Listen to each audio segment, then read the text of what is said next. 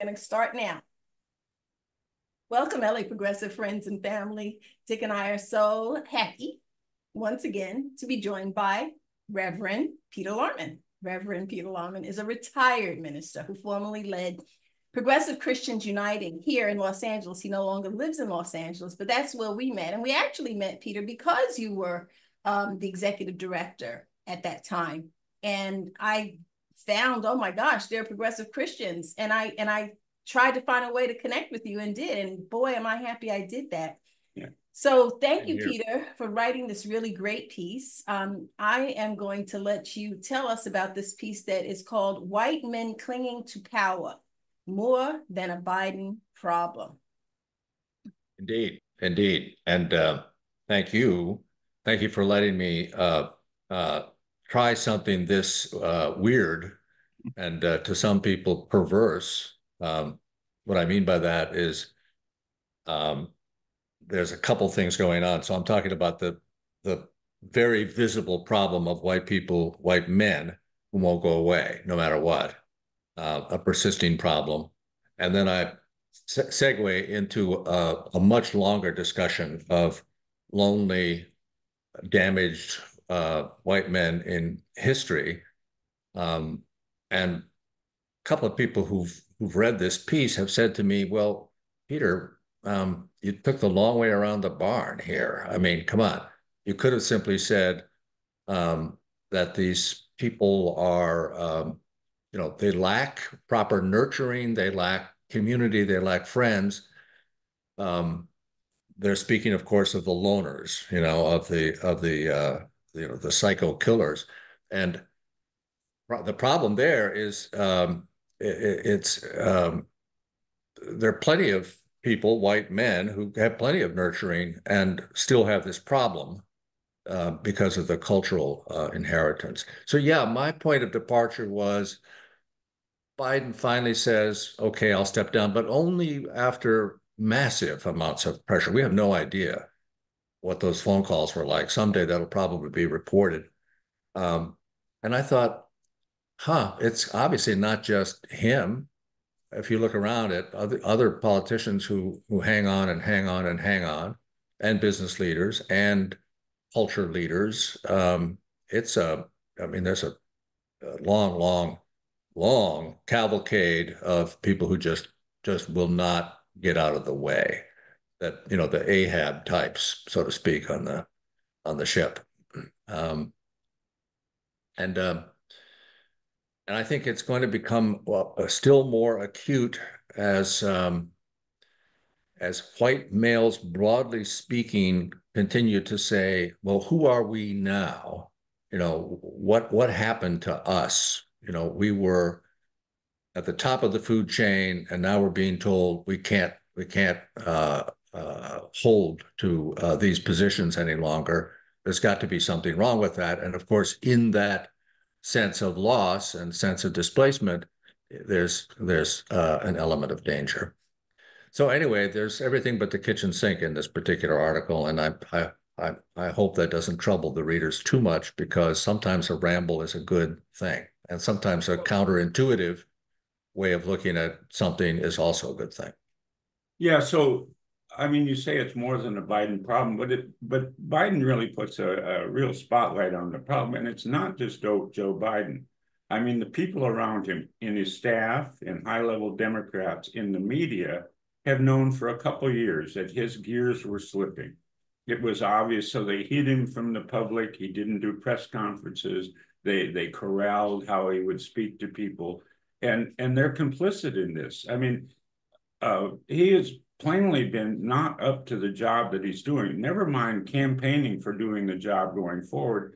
And, and I would say that's true of others. I mean, you talk about white men, but but there were images of Dianne Feinstein's staff wheeling into into the halls of the Senate in a in a wheelchair, and it was clear that she didn't. And and reports were she didn't have the faintest idea what was going on, but because she wouldn't say I'm out, uh, her staff, I, I think to to keep their jobs or out of some misguided sense of loyalty or lack of patriotism, kept pushing her. Ruth Bader Ginsburg is another. Charles Grassley, what is he, over ninety? I mean, these, it's, it's, uh, it, it is a real problem, you know? So, so I want to, if I, if, if, if I can jump in here. Um, one of the questions that you ask is, what is it about white men, especially older white men, that find it so hard to surrender the spotlight? And when I was reading that, it, I began to reflect on my own life. You know, I worked for NASA for um, over 20 years. And there was a manager there who was the manager of two highly successful uh, spaceflight projects. And as he aged, he was really finding it difficult to retire. And we became close friends, you know, after 20 years. And he said to me one day, he said, You know, the older I get, the more I realize that people don't just jump when I say jump. You know, when I walk into a room, he says, I'm accustomed to everybody just doing what I say to do. He says, but somehow he says, and then he said to me, and I thought this was really insightful. He says, I'm beginning to see what your lived experience is like. Speaking to me, this is what he says. wow, wow, wow. And so when you ask the question, what is it about white men? I thought about him and I thought about what he said. And I think that they, our society treats them as the apex of humanity, as this is the standard that represents the best of all there is to be human. And, and that in, that also includes age. Um, so as they get older, they're beginning to see, oh, all the things that I thought that I got out of merit I didn't necessarily get that out of merit. Um, now that I'm slipping a little bit, I'm beginning to see what it's like for other people. Maybe that plays in. Yes, but I think your your colleague at NASA was exceptionally insightful um, in that uh, he was maturing with a degree of grace and and and uh, perception of how things actually are. Our our core problem is that is the number of people, and again, I'll say white men don't have that uh, grace at all, who are still convinced, no matter what, that they are the people who deservedly should command and control. Um, that that's that's really the problem. And Dick, to your point about about Dianne Feinstein, and by the way, you guys published a wonderful piece uh, uh, about this uh, by Nick somebody. I'm, I just uh, uh, read it a short while ago, a, a, a young scholar who mentions that Chuck, Chuck Schumer had two conversations with uh, Senator Feinstein about stepping down. He had to have the second one because she couldn't recall having the first one. But I say in my piece that I think women, certainly women of my age cohort, uh, will often hang on in part because they feel that they've had to fight and that and they're right. They've had to fight much much harder to attain positions of prominence than the men. The men generally kind of had it handed to them. Uh, and that will change over time. That will change. But it's a dangerous uh, uh, it's a dangerous period of transformation when the anxieties of the powerful white men are are stoked you know, by all of this sort of threat to their to what they consider many of them to be their natural preeminence. So, so Dick kind of uh, tapped into the fact that there are a lot of enablers around Biden, and I'd like to expand that and say that our society as a whole is an enabler to this kind go. of masculinity that turns into toxic masculinity because there's this sense of entitlement that well I should be the one that's in control of everything. And once that begins to reveal that it's not true, there's there's a problem. I, I just I wanted to talk about society um, contributing to this because after reading your piece, I was thinking about people like Elizabeth Holmes, um, who worked at lowering the tone of her voice. Remember Elizabeth Holmes, the famous yes, young um, Theranos. Theranos of, of Theranos right. fame. She lowered the tone of her voice. Now, I don't know if she knew this intuitively or if someone told her this, but Margaret Thatcher also took voice lessons to lower the tone of her voice so that she could gain more um, credibility as a leader. And I've never read this, but I, I have seen this with Oprah Winfrey. I've never read it anywhere, but I just remember you can go back and listen to Oprah Winfrey interviews when she first started, and then listen to her interviews like after the Oprah Winfrey show became very popular. She's like two two tones deeper. So I think that we as a society, we respect, admire, and uplift masculinity. Um, so we're we're all enablers of this. We all are, and and uh, in fact, in churches, and I've seen this now in multiple congregations, including the one uh, I attend here in in Rhode Island. Um, in churches, often it's it's women, and women really are the leaders for all practical purposes in every congregation I've ever known. They put in the work, they're on the committees, they contribute more money, more time, more everything, more love to the institution. Um, we now have a, a female a senior minister for the first time in this particular congregation's 305 year history. And um, it's some of the older women in the church who don't, just can't quite accept that. Um, this is particularly pronounced because churches are are enormously patriarchal for obvious historical reasons uh, to begin with. But uh, there's something about voice. You mentioned voice. I hear women say to me. In fact, I will guest preach there, and always afterwards, the women flock around me and say, "Oh my God, that's so beautiful, and you have such a beautiful voice." So I, I understand uh, women uh, being being tagged with this idea of being shrill and so forth have to have to uh, adjust and say pay attention to me uh, i'm speaking in a in a level tone that is to say i am i am requiring your attention I've I found that I, when I passed the age, and Dick, you, you have to tell me if this is true of you. When I passed the age of 50, I found lots of people uh, in everyday encounters in supermarkets or wherever saying, um, uh, "Yes, sir," to me. Get, do you get the sir treatment? Yes, sir. Like you're a patriarch already.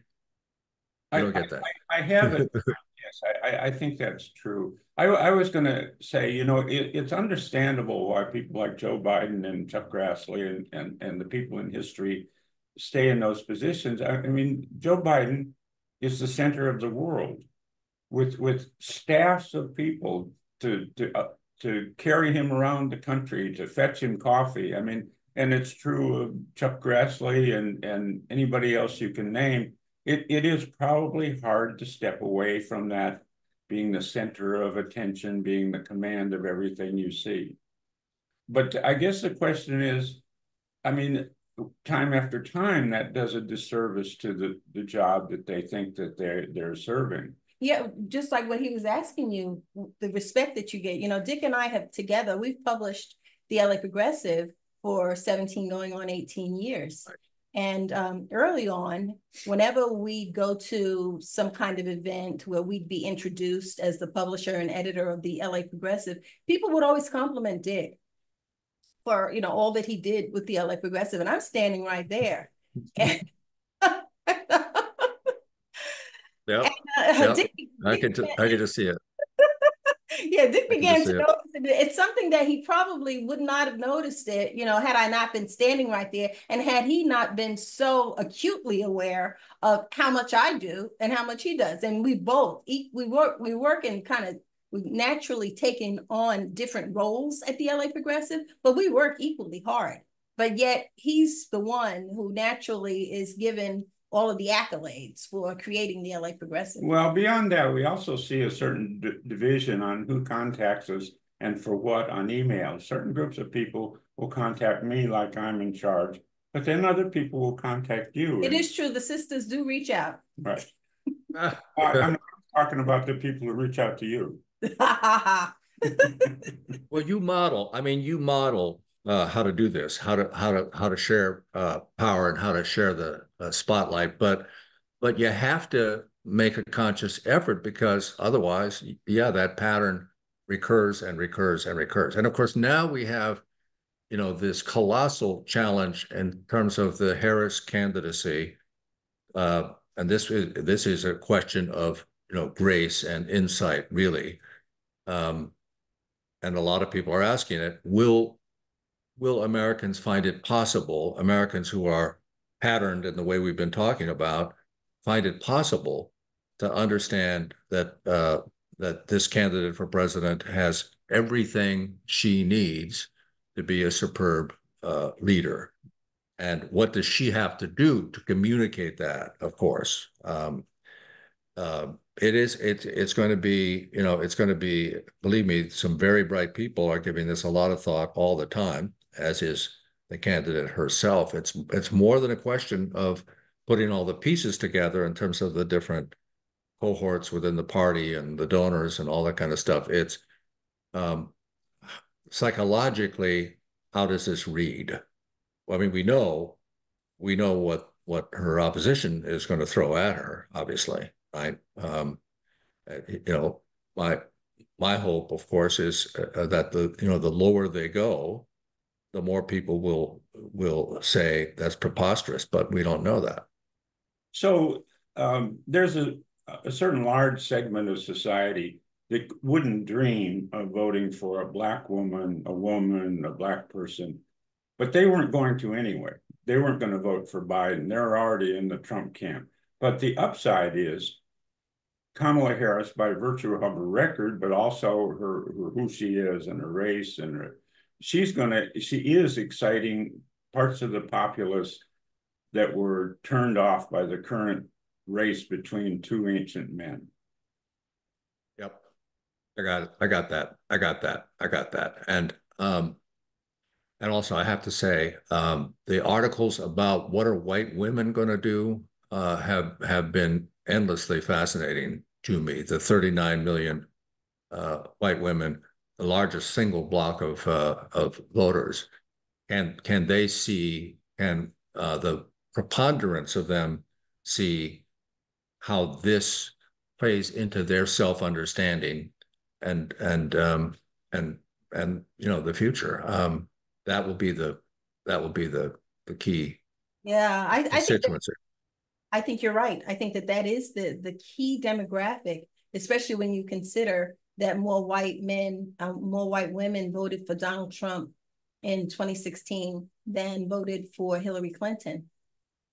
And it is it is perplexing I think that our biggest challenge is really to tap into the unconscious of the nation, those people who believe that they're not biased, but they hold these very biased um, opinions about what leadership looks like, um, what it what it sounds like to be a credible, intelligent, uh, to be an intellectual. The tone of your voice matters. Um, how much um, emotion you display in the way that you communicate, how much, how often you use your hands, all of these unconscious signals. Um, we've been um, socialized to believe that there is just one look for what leadership is. And it's almost everything that is the opposite of Kamala Harris.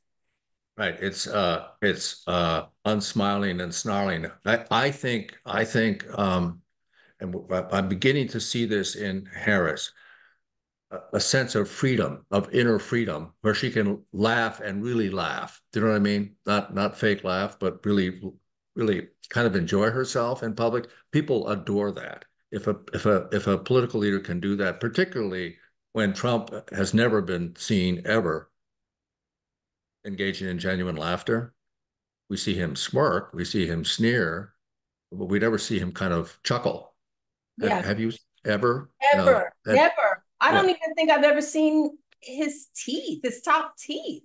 I've never seen him grin, smile. He doesn't even have any no, smile he, line. He, he doesn't has, have smile lines, honey. He has a, a fake kind of smile. He stretches his face out, and then yeah. but I, I mean, it's kind of a weird kind of smile. But I think that that Peter is right. Kamala's authenticity is what is very attractive yeah, yeah. When she just settles in and just is just her natural self, whether her natural self is the big smiling, laughing Kamala, or whether the natural self is, okay, last question, I've had enough. Because she can get down to some serious business. Oh, yeah. And that oh, is yeah. an authentic Kamala as well. Right. So, right. Right. but is this country ready for that? So, so I got to say, I, I've been deeply discouraged by this race for the past number of months. Obviously, because of Trump, that would be such a disaster. I mean, before he was malevolent, but he was incompetent. But now he may bring heightened malevolence with a certain degree of competence. So, so that was terrible. But I, you know, I've been mad for a long time that Joe Biden was hanging in because I could see, you could see by his shuffle and by his, you know, they were they were covering it up, but it was true. And all that is to say that when when we heard that Joe Biden was stepping aside and recommending uh, Kamala Harris, I may have told you this before, but I spontaneously broke out in tears. I I couldn't. You, me too. Me too. Yeah, me too. I and I'm still feeling. So I'm still feeling that. I'm still feeling that relief.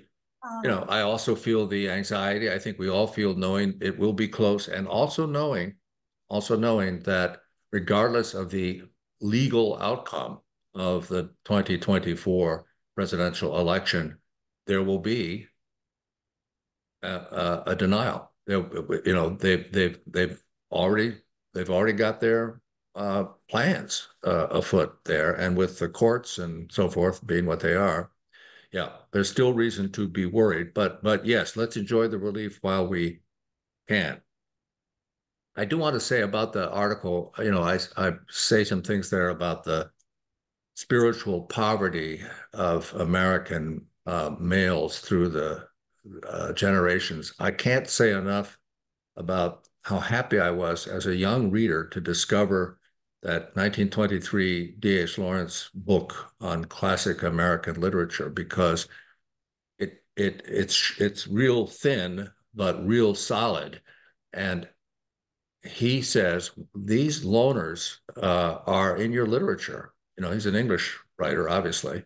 Um, just read your own literature. Read James Fenimore Cooper. You know, the the the Deerslayer, and you'll understand that um, that that that's who you are in a way. You're you're you know a bunch of lonely dudes out there in the wilderness, and you're killers basically. Um, I, he- I heard a psychiatrist say to me uh, uh, the other day.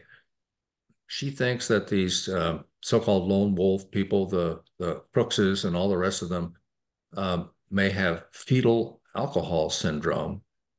Okay, uh, some may have that. I don't know. Uh, I, but but I, I want it to be the both and. That is to say, uh, um, I want to understand clearly that there are problems with nurture and, and loneliness and online um, craziness, of course.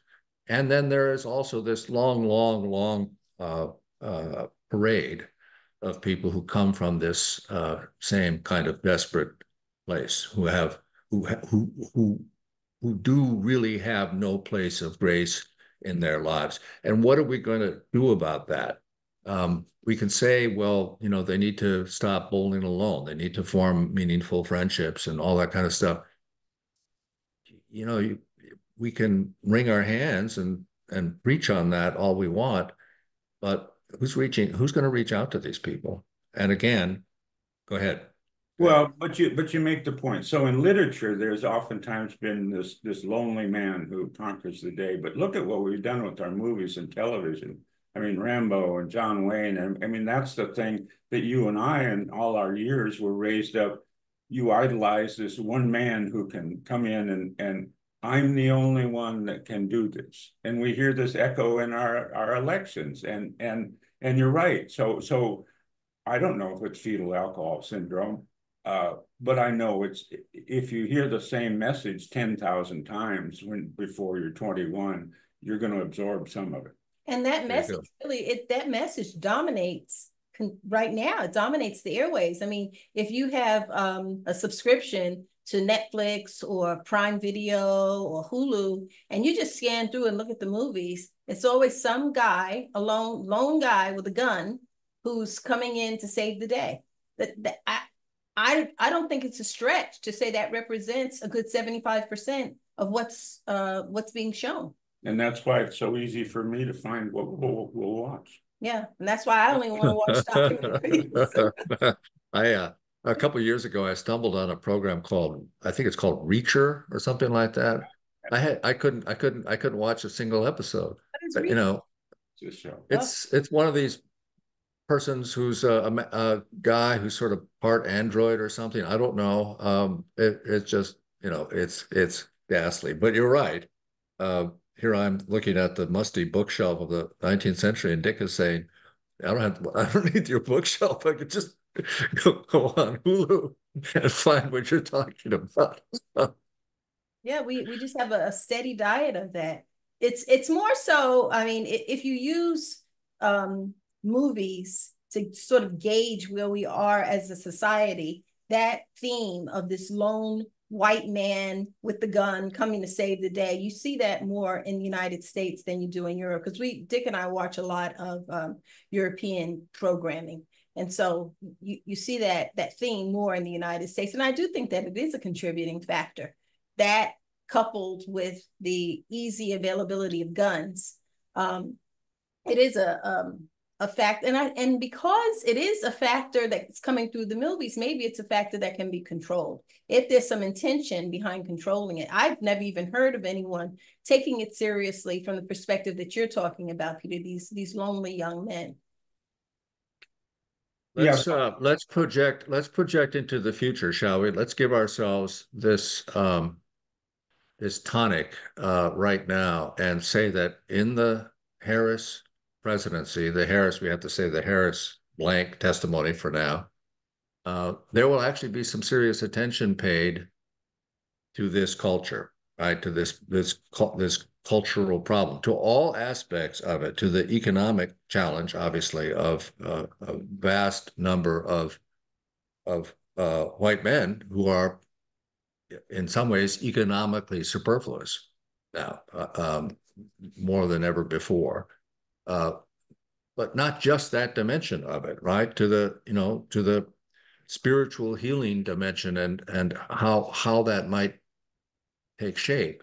Um, you know, the right will hate that because the right the right inevitably, when any kind of discussion like this comes along, they're like, well, that's you know that's exactly what we refuse. That's exactly the medicine we don't want to hear about. You know, because there's nothing wrong with us. Right. If Yeah. you say so, get out of my way. You know, in your piece, you took when you you give examples of people who um, refuse white men who refuse to give up their domain. Um, but one person you said that um, represents a departure from that is Robert Reich, and I agree. Robert Reich is a departure from that. But then I thought about his height, and I think that when someone doesn't have it all, all the things that our society considers the apex, because he's dealt with heightism his entire life, um, there's a part of him that is somewhat humbled. I mean, these experiences, I think, help to shape you. And maybe, you Yes, know, and you pu- you published a piece uh, of his, but I I think I'd I've seen a couple of these where he in a in a self-reflective and good-humored way simply thinks about you know uh, what he can and cannot do. And you're right. I think I think working from limitations and and uh, a degree of you know uh, experienced contempt uh, uh, may may make a difference. Um, Joe Biden is uh, exceptionally tall. That may be one of his liabilities. yeah, yeah, tall and and by our standards, he's a good-looking man. Um, he he did have the awful experience of losing his wife and and his daughter, and you know having the car accident with the sons early on, so that humbled him a bit. But he had all was born with all the stuff that America says is the right stuff, and and now his right stuff is fading. But you have to admire the fact that he overcame a, a severe stutter. Stutter, yeah. And, and I, I do understand that he would not want to leave. I mean, you know, he's been taught here for a long time that he is the center of the universe and he alone can handle it. But the people I blame are the people around him who now apparently are quite upset at the Democrats who, who urged him to leave or forced him out. And, and shame on them.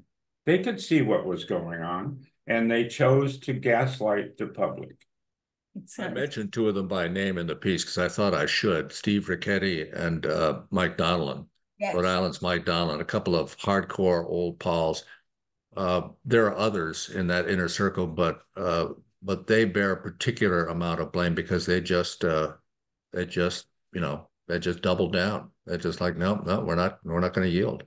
Luckily, there was Nancy Pelosi. Yeah, exactly. And how appropriate is that? That's perfect. Perfect. Well, Peter, thank you again for uh, gifting us this beautiful piece that we can share with the LA Progressive community. And we really encourage everyone, if you like what Peter writes, um, share it, you know, click like, share it, share it on all the various social media platforms. That's the only way the independent media gets to, to, to reach out to a, a broader, wider community. So thanks again, Peter. Thank you. And people should feel free to disagree as well. It's it, believe me, uh, I I put my oar in the water, but it's not the only oar. This is wonderful to get together with you. It's not quite as good as when you lived out here and we could actually go downtown and have a meeting with you. But thank God for technology. Yeah. 20 years ago, we wouldn't be doing this. Okay. And thanks for and thanks for keeping it going. Really. Thank you. Have a good Peace. one. Thank you for sticking around. If you like the LA Progressive content and the discussions we have here, please consider clicking the subscribe button below and also give us a thumbs up. That helps to grow our audience by feeding the algorithm, which helps to get this content in front of more eyes. Thanks for stopping by. We really appreciate your support.